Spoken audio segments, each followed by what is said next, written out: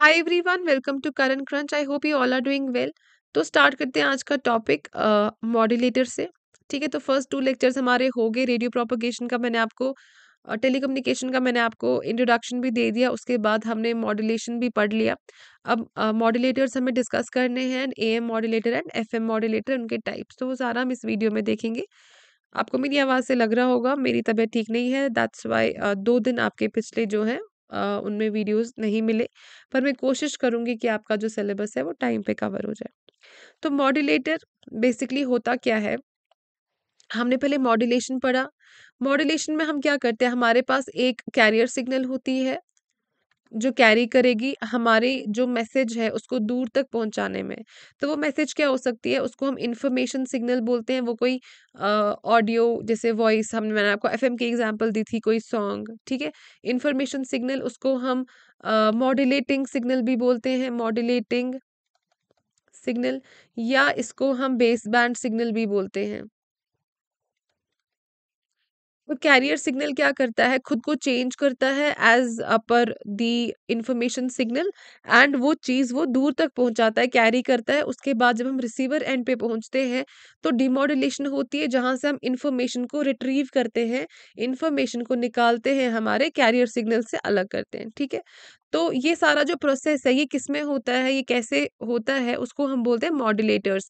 हमारे जो मॉड्यूलेटर्स हैं, वो वेव्स जनरेट करते हैं। अगर हम ए एम मॉड्यूलेटर पढ़ेंगे, वो ए एम वेव जनरेट करेगा, अगर एफ़ एम मॉड्यूलेटर पढ़ेंगे, वो एफ़ एम वेव जनरेट होंगी, ठीक है? स्टार्ट करने से पहले अ, मेरी ऐप आप डाउनलोड कर सकते हैं करंट क्रंच। अगर आप मेरा कोई भी कोर्स परचेज करना चाहते हैं करंटली मैं नाइब तहसीलदार sub inspector junior assistant J K S prelims test series J K S mains ये सारे जो कोर्स हैं वो करवा रही हूँ। उनकी डिटेल के लिए आप मेरी ऐप जो है वो डाउनलोड कर सकते हैं जिसकी लिंक आपको नीचे डिस्क्रिप्शन बॉक्स में मिल जाएगी। अगर आपको कॉन्स्टेबल टेस्ट सीरीज़ लेनी है वो भी आप वहाँ से परचेज कर सकते हैं। अभी आपका दिवाली ऑफ़र चल रहा है तो आपको काफ़ी जो है डिस्काउंट मिलेगा मेरे सारे कोर्सेज पे। मैंने एक बुक भी लिखी है जे के एस एस बी की, जिसमें जम्मू एंड कश्मीर की ज्योग्राफी, जम्मू एंड कश्मीर का जी के का सारा पार्ट है। अगर आप उस बुक को ऑर्डर करना चाहते हैं तो आप मुझे, आपको व्हाट्सएप करना होगा इस नंबर पर। Seven double zero double six double seven double two five पर आप व्हाट्सएप कर सकते हैं, अपना जो बुक का ऑर्डर है वो प्लेस कर सकते हैं, ठीक है? तो हम स्टार्ट करते हैं मॉड्यूलेटर से। मॉड्यूलेटर मैंने आपको कहा ये क्या होता है? बेसिकली जो ये काम करता है, जो ए एम वेव जनरेट करवाएगा, उसको हम ए एम मॉड्यूलेटर बोलेंगे एंड जो एफ़ एम वेव जनरेट करवाएगा, उसको हम एफ़ एम मॉड्यूलेटर बोलेंगे। अब देखो, अगर मैं आपको ये मॉड्यूलेटर्स बिल्कुल डीपली बहुत ये पढ़ाऊँ, एक तो उसमें टाइम भी लगेगा एंड सेकेंडली आप गेट की प्रिपरेशन नहीं कर रहे हैं, वो भी दिमाग में रखना होता है। तो इस वजह से जितना मेरे हिसाब से ज़रूरी होगा आपके लिए इन्फॉर्मेशन, वो सारी आपको इस, इन नोट्स में मिल जाएगी, ठीक है? एंड इन नोट्स को डाउनलोड करने के लिए आपको टेलीग्राम ग्रुप ज्वाइन करना होगा, जिसकी लिंक अगेन आपको नीचे डिस्क्रिप्शन बॉक्स में मिल जाएगी। तो मॉड्यूलेटर क्या होता है? मॉड्यूलेटर जो है it is an electronic circuit जो क्या करता है? सुपर इम्पोज करता है लो फ्रीक्वेंसी इन्फॉर्मेशन सिग्नल को into high frequency carrier signal for the purpose of wireless transmission इस प्रोसेस को हम मॉड्यूलेशन बोलते हैं, जो हमने लास्ट वीडियो में पढ़ा। एंड मॉड्यूलेशन जो डिवाइस परफॉर्म करता है, उसको हम मॉड्यूलेटर बोलते हैं। सिंपल है? अब कुछ कमेंट्स मैंने पढ़े बच्चों के, बच्चे इसमें कंफ्यूज हो रहे थे मॉड्यूलेटिंग एंड मॉड्यूलेटेड वेव देखो, आपकी जो इन्फॉर्मेशन वेव है, वो लो फ्रीक्वेंसी होती है एंड उसको हम मॉड्यूलेटिंग वेव भी कहते हैं modulating T I N G and जो आपको आउटपुट में मिलती है फाइनल वेव जो आपके पास आती है, उसको हम मॉड्यूलेटेड बोलते हैं। जो ए एम मॉड्यूलेटेड वेव हो सकती है या एफ़ एम मॉड्यूलेटेड वेव लेकिन आपकी जो इन्फॉर्मेशन सिग्नल है, उसको बेस बैंड सिग्नल भी बोलते हैं या उसको मॉड्यूलेटिंग सिग्नल मॉड्यूलेटिंग वेव भी बोल सकते हैं। अब जो मॉड्यूलेटिंग सिग्नल है, आपकी इन्फॉर्मेशन सिग्नल ये एनालॉग भी हो सकती है या डिजिटल भी हो सकती है। फ़िलहाल आपके वन यूनिट में सिर्फ़ एनालॉग है एंड यूनिट टू में यूनिट थर्ड में आई गेस जिसमें हमें ये सारे टॉपिक्स फिर से पढ़ने हैं, उसमें क्या है आपका? डिजिटल ये कम्युनिकेशन वो भी है, ठीक है? तो हम क्या करेंगे? यूनिट फ़र्स्ट के साथ ही हम यूनिट थर्ड जो है वो स्टार्ट करेंगे, क्योंकि यूनिट थर्ड के जो आधे टॉपिक्स हैं वो हमारे फ़र्स्ट यूनिट में ही कवर हो जाएँगे, ठीक है? तो एनालॉग मीन जैसे आपके पुराने रेडियो सेट्स या टीवीज पुराने एंड डिजिटल मीन्स आजकल के डिजिटल टीवीज या जैसे हम लाइव स्ट्रीमिंग करते हैं लाइव टेलीकास्ट वो आपका डिजिटल कम्युनिकेशन में आता है, ठीक है? तो ए एम मॉड्यूलेटर कौन से हुए ए एम मॉड्यूलेटर जो क्या करेंगे? जो जनरेट करेंगे A M wave generate A M wave अब जो ए एम मॉड्यूलेटर्स है, उसको हम दो टाइप्स में डिवाइड करते हैं। एक है आपका low level A M modulator and एक है आपका high level A M modulator अब लो लेवल में आप याद रखोगे जो आपकी मॉड्यूलेटिंग सिग्नल होती है दैट मीन जो आपका गाना है वॉइस है या इन्फॉर्मेशन सिग्नल जो है, वो लो पावर की होती है।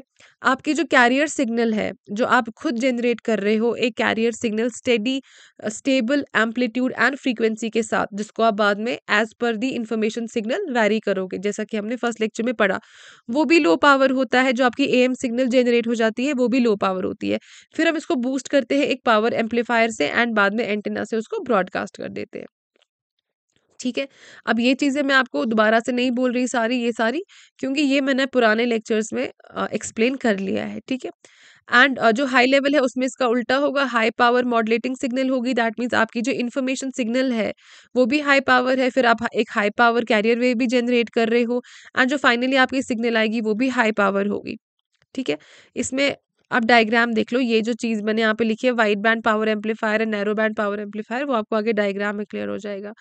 अब देखो लो लेवल हम देखते हैं एम्पलीट्यूड मॉड्यूलेटर ये आपका एक लो लेवल एम्पलीट्यूड मॉड्यूलेटर है, यहाँ से बेस बैंड सिग्नल गई, इसको हम इंफॉर्मेशन सिग्नल भी बोलते हैं। एंड यहाँ से आपका आर एफ़ कैरियर ऑसिलेटर है, जो क्या कर रहा है, आपके कैरियर वेव जनरेट कर रहा है। कैरियर वेव जनरेट तो low power carrier wave generate होगी इनकी यहाँ पे मॉड्यूलेशन हो जाएगी, जिसमें क्या होगा? सुपर इम्पोजिशन सुपर इम्पोजिशन क्या होता है? हम जिसमें आपको पहले भी कहा, हम, हमें अगर कोई सामान डिलीवर करवाना होगा, हम उठा के उस सामान को स्कूटी पे रखेंगे। वो जो स्कूटी है, उसके ऊपर हम सुपर इम्पोज करवा रहे हैं। दैट मीन उसके ऊपर हम हमारी हमारी इंफॉर्मेशन सिग्नल रखते हैं। दैट इज़ सुपर इम्पोजिशन ठीक है? फिर वो एक वाइड बैंड पावर एम्पलीफायर के पास जाएगा, उस सिग्नल को एम्पलीफाई करेगा एंड वो एंटेना से टेलीकास्ट हो जाएगी फिर, ठीक है? फिर हाई लेवल एम्पलीफायर में हाई लेवल मॉडलेटर में क्या होता है? जो आपकी बेस बैंड सिग्नल है, पहले हम उसको एक एम्पलीफायर से निकालेंगे। दैट मीन्स हम उसको क्या बनाते हैं? एक हाई पावर सिग्नल हमने पहले उसको एम्पलीफायर से निकाला। कैरियर सिग्नल को भी हम एक पावर एम्पलीफायर से निकालते हैं। एम्पलीफायर क्या कर देता है? एम्पलीफाई करता है सिग्नल को। तो जो वाइड बैंड है, हमने यहाँ पे वाइड बैंड क्यों यूज़ किया? दैट मीन्स बड़ी बैंडविड्थ वाला और यहाँ पे नैरो बैंडविड्थ वाला यूज़ किया, ठीक है? क्योंकि हमें पता है जो कैरियर सिग्नल है, उसकी एक स्टेडी एक स्टेडी एक स्टेबल फ्रीक्वेंसी और एम्पलीट्यूड होता है। लेकिन हमारी जो वॉइस सिग्नल है, उसकी फ्रीक्वेंसी ज़्यादा भी हो सकती है। ये हमें नहीं मतलब ये हमारे मैसेज सिग्नल पे डिपेंड करेगा। कैरियर वाली तो हमारे हाथ में जनरेट करवाना, लेकिन वो हमारी मैसेज सिग्नल पे डिपेंड करता है कि उसका जो फ्री बैंडविड्थ है वो ज़्यादा भी हो सकता है। इसीलिए हम यूज़ करते उसकी जो फ्रीक्वेंसी है वो ज़्यादा भी हो सकती है। इसीलिए हम यूज़ करते हैं एक हायर बैंडविड्थ पावर एम्पलीफायर जिसमें हमें जगह ज़्यादा मिलेगी उस सिग्नल को एम्पलीफाई करने के लिए। इसको फिर हम एक, क्योंकि अब हमारे पास दोनों हाई लेवल की आ गई तो हम high level A M modulator से निकाल के इसको क्या करेंगे?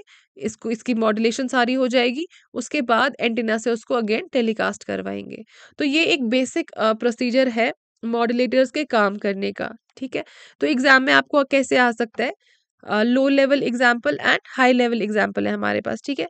तो एग्ज़ाम में आपको नाम लिखा आ सकता है कि जैसे लो लेवल की एग्जाम्पल्स है स्क्वायर लॉ मॉडलेटर या स्विचिंग मॉडलेटर ठीक है? एंड हाई लेवल एग्ज़ाम्पल है आपकी कलेक्टर मॉडलेटर तो आपको लिखा हो सकता है कलेक्टिव मॉडलेटर एक हाई लेवल मॉडलेटर है या लो लेवल मॉडलेटर है, ठीक है? इस टाइप का क्वेश्चन आ सकता है। या आपको जैसे लो लेवल में पूछा जा सकता है कि आपका A M signal low power का होता है कैरियर सिग्नल लो पावर का होता है, ये सारी चीज़ें भी करके आपको पूछा जा सकता है।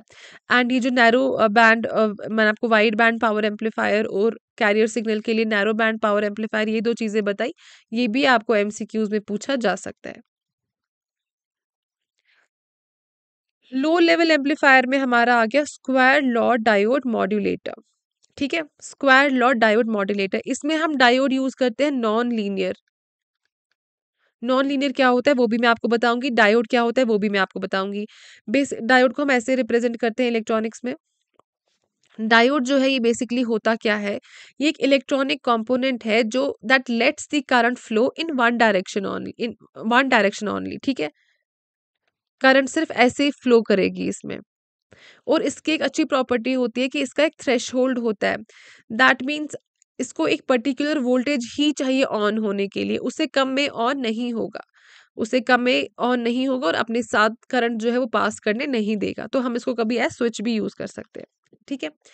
तो डायोड हो गया आपका electronic component electronic component that lets the current flow in one direction only इसमें जो मैसेज सिग्नल है पावर सिग्नल है, दोनों लो पावर के होते हैं ऑब्वियसली क्योंकि ये आपका लो लेवल मॉडुलेटर है। डायोड हम यूज़ करते हैं नॉन लीनियर अब देखो नॉन लीनियर क्या होता है? मैंने आपको दोनों यहाँ पे बताया लीनियर भी नॉन लीनियर भी हो सकता है आपको एग्ज़ाम में आ जाए कि हम डायोड कौन सा वाला जो है वो अ, कौन सी property of the diode use करते हैं स्क्वायर लॉ मॉडलेटर के लिए। तो स्क्वायर लॉ के लिए हमारा नॉन लीनियर चलता है। लीनियर क्या होता है? लीनियर में जो इनपुट है वो डायरेक्टली प्रोपोर्शनल होता है टू द आउटपुट। इसका मतलब अगर जो हम इनपुट वोल्टेज दे रहे हैं उसको हम टू टाइम्स बढ़ाएँगे तो जो आउटपुट करंट है हमारी वो भी टू टाइम्स बढ़ेगी। इसको हम लीनियर बोलते हैं। नॉन लीनियर क्या होता है? इसमें इनपुट आउटपुट रिलेशनशिप जो है वो सेम नहीं होता है। दैट मीन्स अगर हम इनपुट पावर जो है इनपुट वोल्टेज को डबल करेंगे, जो आउटपुट है हमारा वो फोर टाइम्स भी बढ़ सकता है थ्री टाइम्स भी बढ़ सकता है एट टाइम्स भी बढ़ सकता है। दैट मीन्स वो ज़्यादा मल्टीप्लाई हो जाएगा। फाइन एंड वही हमें uh, काम आएगा क्योंकि हमें एम्पलीफायर एम्पलीफाई करना है ना। मैंने आपको एम्पलीफाई क्या एग्ज़ाम्पल बताई थी लास्ट टाइम इमेजिन करो क्या बलून को इन्फ्लेट कर रहे हो फूक भर रहे हो बलून में तो बलून ऊपर की तरफ़ बड़ा होता जाएगा ना। तो वो एम्पलीफाई हो रहा है बलून वही सिग्नल को हमें एम्पलीफाई करवाना है। तो अगर हम ट्वाइस इनपुट दे रहे हैं और हमारा जो आउटपुट है दैट मीन्स हमारी जो जनरेट हो रही है सिग्नल वो two times four times eight times ज़्यादा हो रही है। तो वही बिहेवियर जो है हमें यहाँ पे ज़रूरत आएगा एक A M modulated wave generate करने के लिए। वही यहाँ पे लिखा है अगर if you double the input and the output है it goes into four into three that means four times three times जो इंक्रीज हो सकता है। This non linear behaviour is what lets lets it combine signal in the special ways ठीक है? Example multiplying them which is useful in creating the A M signals तो हमें amplitude को बढ़ाना होता है, उसके लिए हमें ये प्रॉपर्टी यूज़ होती है। तो ये समझ गए आप? स्क्वायर लॉ डायोड जो है क्या करता है? डायोड यूज़ करेगा नॉन लीनियर प्रॉपर्टी ये दो चीज़ें आप याद रखोगे। एंड ये क्या है, एक लो लेवल मॉडुलेटर है। लो लेवल मैंने आपको बताया, जिसमें आपका जो हमारी इन्फॉर्मेशन सिग्नल भी लो लेवल की होती है तो हमें कैरियर भी, हमें वहाँ पे लो लेवल ही ज़रूरत पड़ता है तो लो लेवल मॉड्यूलेटर से हम उनकी सुपर इम्पोजिशन करवाते हैं। अब देखो स्क्वायर लॉ जो है, इसकी फॉर्मूला थोड़ी ज़्यादा इंपॉर्टेंट है तो इस वाले मॉड्यूलेटर में मैंने फॉर्मूला भी इंक्लूड की हुई है। This is your amplitude modulated wave finally उसकी फॉर्मूला है वी सी वोल्टेज ऑफ़ आपके जो कैरियर सिग्नल है वो sine two pi F C frequency of carrier wave T plus V M modulated wave की voltage sine two pi F M T multiply by sine two pi F C T ठीक है? एक बारी मैं erase कर लेती हूँ, ये फॉर्मूला आप देख लो। ये है। इसमें ये वाला जो पहला है, ये क्या करता है? ये रिप्रेजेंट कर रहा है कैरियर सिग्नल को। एंड ये जो ये वाली चीज़ है, ये रिप्रेजेंट करती है किसको? आपकी मॉड्यूलेटिंग सिग्नल को। ठीक है? And sine two pi F C T क्या है अगेन आपका? Carrier signal. ये हम क्या करवा रहे हैं? हम एक एम्पलीट्यूड मॉड्यूलेटेड वेव जो है वो जनरेट करवा रहे हैं, amplitude modulated single signal sorry अब देखो वो सिग्नल कैसे जनरेट हो रही है? यहाँ पे दो चीज़ें हो रही हैं। वो दो चीज़ें क्या है मैं आपको बताती हूँ।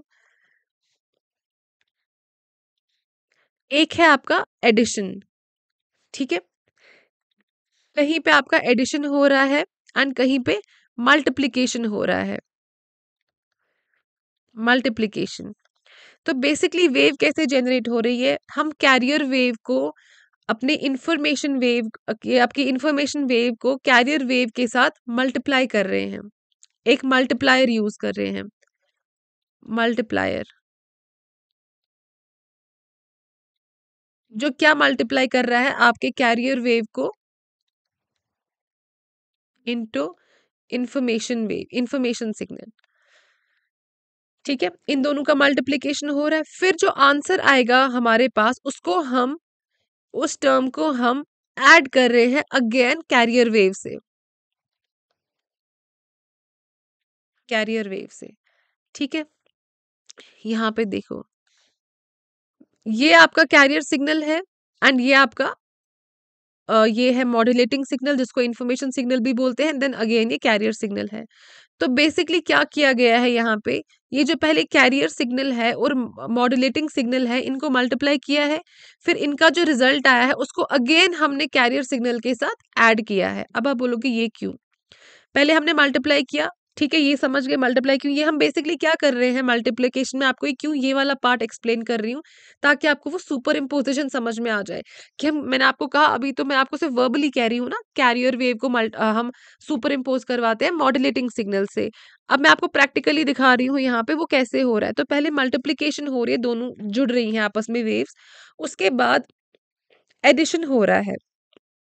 किसके साथ? कैरियर वेव के साथ।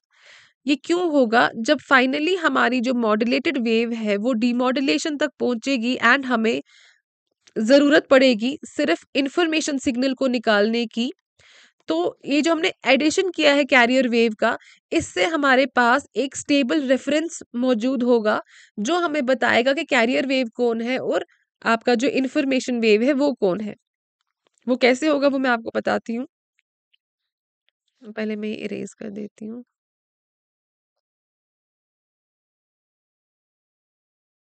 वेट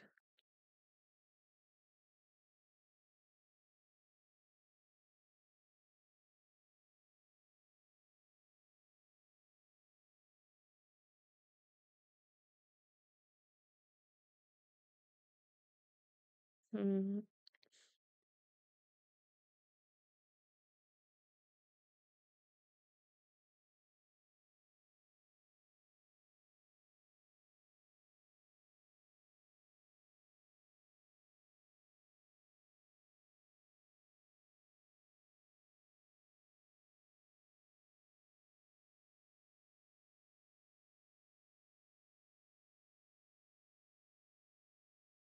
इरेज हो गया। अब हम वापस आते हैं। तो बेसिकली यहाँ पे क्या हुआ? पहले आपकी carrier wave plus information signal जो है वो मल्टीप्लाई होगी। उसको एक मल्टीप्लायर से निकाला। मल्टीप्लाई होगी। उसके बाद अब जो इनका रिज़ल्ट आया ना, उसको हमने प्लस फिर से कैरियर वेव ऐड की। कैरियर वेव जब हम फाइनली डीमॉडुलेशन की तरफ़ जाएँगे और हमें रिसीव करनी होगी सिर्फ़ इन्फॉर्मेशन तो यहाँ पे कुछ वेरिएशंस होंगी ना? तो हमें पता होना चाहिए उन वेरिएशंस में कैरियर कौन है और हमारा इन्फॉर्मेशन कौन है। क्योंकि बेसिकली हमारा काम किससे इन्फॉर्मेशन वेव से। हमें कैरियर को अलग करना है, सिर्फ़ हमें इन्फॉर्मेशन चाहिए। तो जो यहाँ पे कैरियर वेव है ना, ये एक आपको बताएगा कि कैरियर वेव के डायमेंशंस कैसे हैं? कैरियर वेव कौन सी वाली है ताकि आप आराम से उसको निकाल पाओ और सिर्फ़ अपनी इन्फॉर्मेशन वहाँ से रिट्रीव कर पाओ। तो ये एक मैथमेटिकल ये मैथमेटिकल एक मान लो एक प्रोसीजर होता है इसमें। कैरियर वेव को भी ऐड करना ताकि हमारी फाइनली इन्फॉर्मेशन वेव जो है यहाँ से वो रिट्रीव हो जाए। अभी इतना सारा एक्सप्लेन करना आपके लिए ज़्यादा रेलिवेंट नहीं है, पर मैंने ये क्यों किया? क्योंकि एग्ज़ाम में अगर मल्टीप्लायर एडर ऐसा कुछ लिखा हो तो आपको पता चलेगी मल्टीप्लायर एडर हमने कहाँ पे पढ़ा था एंड इनका क्या फ़ंक्शन है, ठीक है? आगे चलते हैं। नेक्स्ट है हमारा कलेक्टिव मॉड्यूलेटर कलेक्टिव मॉड्यूलेटर में क्या चीज़ें आपको याद रखनी है? पहले तो हाई लेवल का है। High level modulator and secondly ये यूज़ करता है क्लास सी एम्पलीफायर जो इस सिग्नल को एम्पलीफाई करता है, काफ़ी एफिशिएंट एम्पलीफायर है, जो एक ट्रांजिस्टर को यूज़ करता है एम्पलीफाई करने के लिए सिग्नल को। ठीक है तो क्लास सी एम्पलीफायर नाम आप याद रखोगे टाइप ऑफ़ एम्पलीफायर है अब नेक्स्ट लाइन देख लो। This method works by varying the supply voltage in sync with the audio signal that is nothing but your modulating signal तो ये देख लो, इसका मतलब क्या हुआ?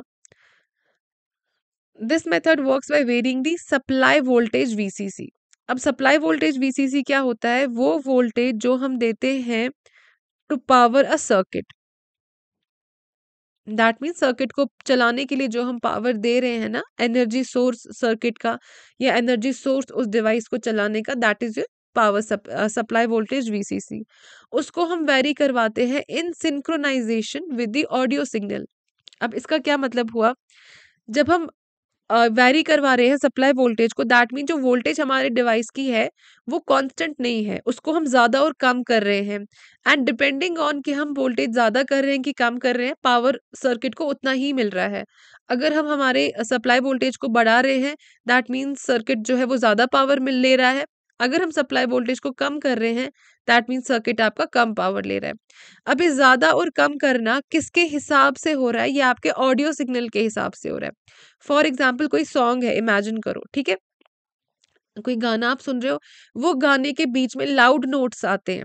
तो जब आपका ऑडियो सिग्नल लाउड नोट बजा रहा है दैट मीन जब गाना ज़्यादा ऊँचा वॉल्यूम का हो गया है, जो सप्लाई वोल्टेज है, उसको भी इंक्रीज कर रहे हैं।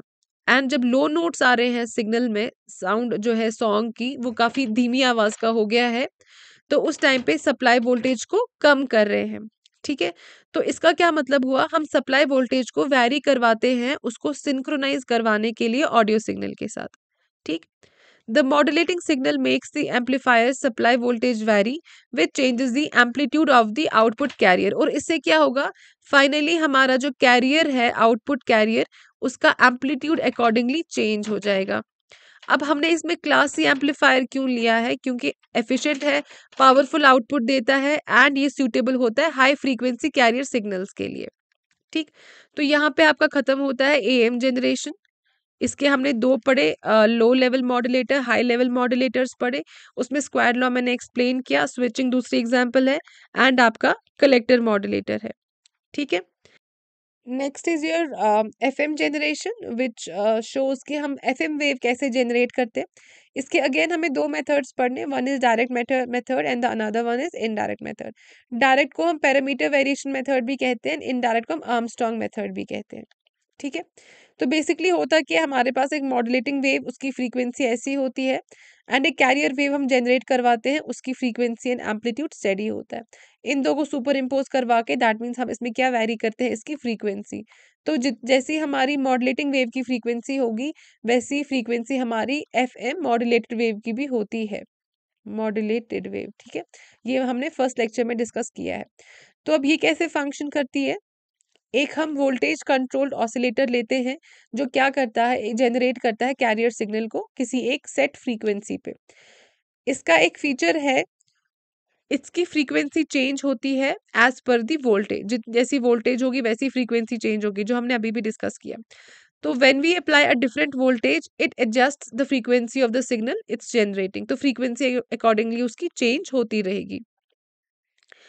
अब है adding the modulating method what we want to transmit जो भी हमारी वॉइस या म्यूज़िक सिग्नल है when this signal is applied to V C O तो वी सी ओ रिएक्ट करता है, यहाँ पे आ जाओ वापस, मैंने कहा इसका फीचर क्या है, ये अकॉर्डिंग टू द इनपुट अपनी फ्रीक्वेंसी चेंज करता है। तो जब हम ये, हमारा जो ऑडियो सिग्नल है, वो वी सी ओ को देते हैं as per the frequency VCO react करता है अकॉर्डिंगली अपनी फ्रीक्वेंसी चेंज करके to match the ups and down of the modulating signal that mean जो मॉडुलेटिंग सिग्नल की फ्रीक्वेंसी होगी, उसी अकॉर्डिंग वीसीओ क्या करेगा? फ्रीक्वेंसी मैच करवाएगा कैरियर सिग्नल की। ठीक? जो वेव फाइनली हमारे पास आएगी, वो हमारी एफ़ एम वेव है। ये रहता है suitable narrow band F M के लिए। Doesn't handle large frequency deviations frequency deviations that means हमारी जो कैरियर वेव की फ्रीक्वेंसी थी एंड फाइनली जब हमने उसको इनपुट वोल्टेज दी कितनी हमारी फ्रीक्वेंसी चेंज हुई।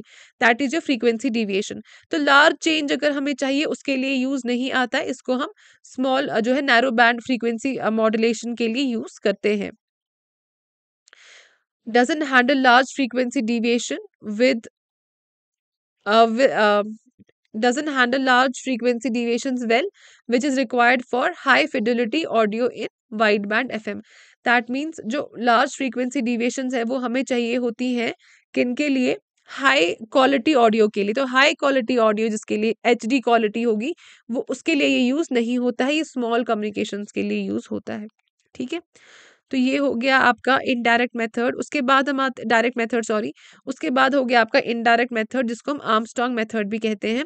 ये प्रोवाइड करता है high stability accuracy making it ideal for the high quality FM broadcasting जो यहाँ पे नहीं होता है, वो यहाँ पे होता है। तो ये जो एग्ज़ाम्पल है कि कौन सा हाई क्वालिटी एफएम के लिए यूज़ होता है और कौन सा नहीं, ये भी आपको पता होना चाहिए, ये करके भी एमसीक्यूज जो है वो बनाए जा सकते हैं।